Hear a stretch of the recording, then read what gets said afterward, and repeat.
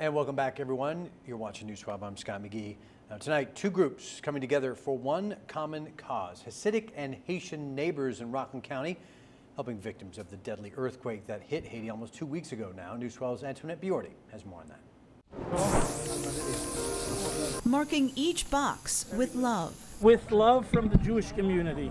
The Hasidic community in Rockland County and beyond are sending these boxes and many more filled with food and supplies like these to Haiti after a 7.2 magnitude earthquake killed more than 2,000 people almost two weeks ago. Let's share what we got here and we're going to send it to Haiti, to our brothers and sisters who are suffering from this earthquake. The two groups say, unfortunately, world tragedies happen all the time, but it's how you react that will make all the difference, and that's why they're pledging to help Haiti. We live in the village of Spring Valley.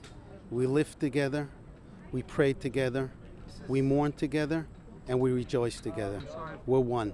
We all are Haiti today seeing everybody come together, you know, lights up my heart. You know, everything takes collaboration and takes uh, community effort. So seeing people of different organizations, different ethnic groups coming together to help those um, for a common goal, that's the most important thing to me. They've already started collecting supplies, but they need your help. The Hasidic community is asking people to donate essential items and non-perishable food. They will fill two shipping containers that will be sent to Haiti come this Thursday. No matter your background, race, or religion, to step up contribute, join this effort.